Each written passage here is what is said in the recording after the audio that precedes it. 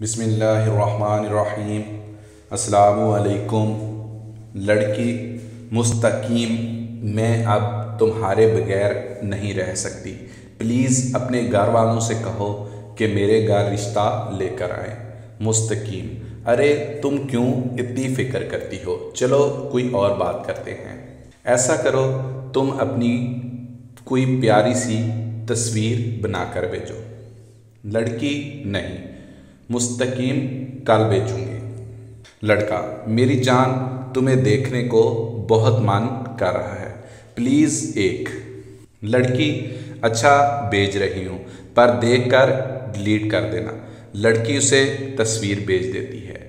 اب لڑکا کہنے لگا، تھوڑی سی پیار بری باتیں ویڈیو میں ریکارڈ کر کے بیچو نا سونی۔ اب عورت ذات پیار کی بہت بوکی ہوتی ہے۔ کوئی تھوڑا سا پیار سے بات کیا کر لے، عورت اس کے پیار میں پاگل ہو جاتی ہے۔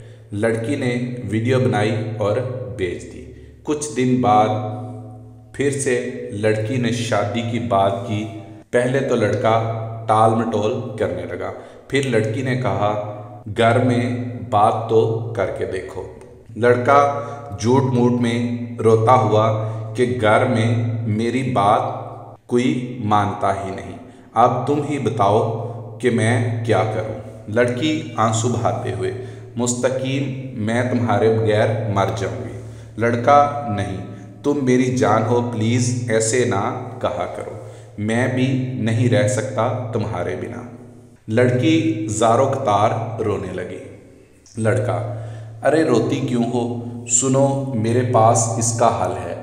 ایسے کرتے ہیں کہ باغ کر شادی کر لیتے ہیں۔ لڑکی، پر باغ کر کیسے؟ ہم کہاں رہیں گے؟ کھائیں گے کہاں سے؟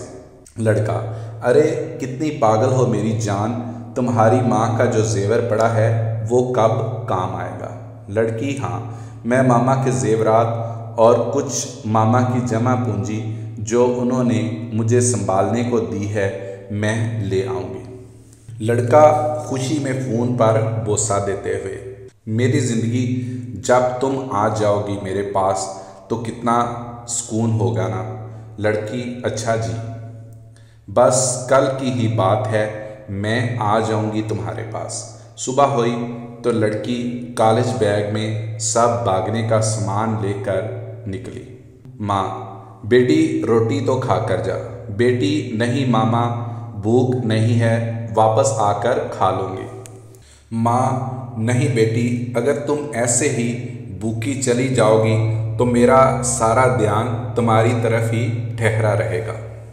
بیٹی، ماں، تم بھی نہ، لیٹ ہو رہی ہوں، پلیز جانے دیجیے نا ماں، آنسو بہاتے ہوئے کیسے بتاؤں بیٹی، جب میری اولاد بھوکی ہوتی ہے تو خود کے حلق میں بھی نوالا نہیں چاہتا لڑکی چلی جاتی ہے۔ بیٹی، اس لڑکے کے ساتھ کہیں دور نکل جاتی ہے ماں کو گھر میں جب سکون نہیں ہوتا کہ میری بچی بھوکی ہی چلی گئی تو کھانے کا باکس نکالتی ہے، اس میں کچھ کھانا ڈالتی ہے اور کالج کی طرف چل دیتی ہے۔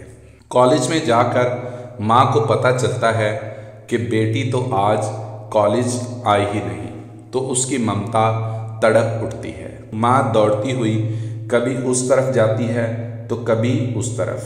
لیکن بیٹی نظر نہیں آ رہی تھی، کیونکہ بیٹی اس لڑکے کے بہکاوے میں خود کو اور اپنے ماں باپ کی عزت رولنے نکلی تھی اور ماں تڑپ رہی تھی۔ اب وہ لڑکا لڑکی کو لے کر ایک چھوٹے سے جھونپڑی نما گھر میں گیا اور وہاں جا کر لڑکی سے کہنے لگا، لو، تم کہتی تھی نا کہ میں تمہارے بغیر نہیں رہ سکتی۔ اب یہاں رہو۔ یہ میری مفلوج ماں ہے۔ یہ میری بیوی ہے۔ یہ میرے تین بچے ہیں۔ اور میرا باپ دوسرے بیٹے کے ساتھ رہتا ہے۔ کیونکہ میری بیوی سے دو دو بیمار سنبھالے نہیں جاتے۔ لیکن اب میں اپنے باپ کو بھی یہیں لے آتا ہوں۔ کیونکہ جس نوکرانی کی ضرورت تھی اب وہ بھی مل گئی ہے۔ لڑکی روتے ہوئے، مستقیم آپ ایسے تو نہیں تھے۔ مستقیم کہکا لگاتا ہے، چلو میری جان، کام پر لگ جاؤ۔ اور لڑکی کا باپ اور بائی محلے کی مسجد میں بھی جانے سے گئے۔ جب بھی مسجد جاتے تو لوگ طرح طرح کی باتیں کرتے۔ اگر ماں کسی محلے کی عورت کے پاس رک جاتی تو اس کی تربیت کو دوش دیتی۔ کچھ دن گزرے تو لڑکی لڑکے کے آگے گڑ گڑاتی اور کہتی، مستقیم، ایک بار مجھے اس قید سے آزاد کر دو۔ لیکن مستقیم کہتا، تم میرے ساتھ رہنا چاہتی تھی نا؟ اب رہو ہمیشہ۔ لڑکی اگر کہتی کہ ایک بار مجھے میرے گھر والوں سے مل آنے دو، تو مستقیم کہتا کہ بیوقوف مجھے الو بناتی ہو۔ جیسے اپنی ماں کو الو بنایا تھا۔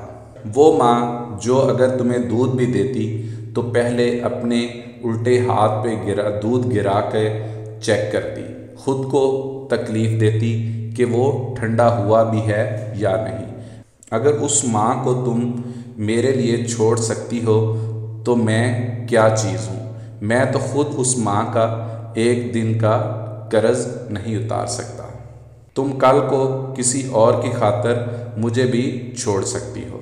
لڑکی ہاتھ جوڑ کر، رو رو کر فریاد کرتی ہے کہ بس ایک بار مجھے میرے گھر والوں سے ملنے دو۔ میرا اور کوئی نہیں جس کے ساتھ میں باغوں گی۔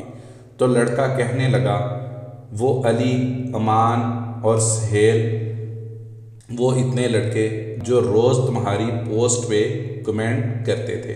اور تم بھی ان کو کمنٹ کرتی تھی۔ وہ تمہارے چاچا کے بیٹے تھے۔ لڑکی نے بہت بار باغنے کی بھی کوشش کی۔ آخر کار باغنے میں کامیاب ہو ہی گئی۔ واپس آ کر کیا دیکھتی ہے کہ گھر کو تالا لگا ہوا ہے۔ محلے کے لوگوں سے پتہ چلتا ہے کہ اس کی ماں اس کے غم میں پاگل ہو گئی ہے۔ اور اس کا باپ اور بھائی اپنی عزت پر اٹھتی انگلیوں کو برداشت نہ کر سکے۔ اور اپنی جان دے دی۔ لڑکی روتے ہوئے، اور میری ماں کہاں ہے؟ تو جواب ملا کہ ہر روز آتی ہے تیری ماں، اور روتے ہوئے کہتی ہے کہ میری بیٹی بوکی ہی کالج چلی گئی تھی۔ اور روتے ہوئے کہتی ہے کہ میری بیٹی بوکی ہی کالج چلی گئی تھی۔ نہ جانے بھوک کی وجہ سے کیا حال ہوگا۔ مجھے تھوڑی سی روٹی دے دو۔ میری بچی بھوکی ہے۔ اور روز وہ روٹی ہاتھ میں لیے تیرا انتظار کرتی ہے۔ بیٹی جب ماں کو ڈھونڈ لیتی ہے تو اس کی ماں نے روٹی کو اپنی چادر میں باندھ رکھا ہوتا ہے۔ لیکن افسوس اس کی ماں کے جسم میں جان نہیں ہوتی۔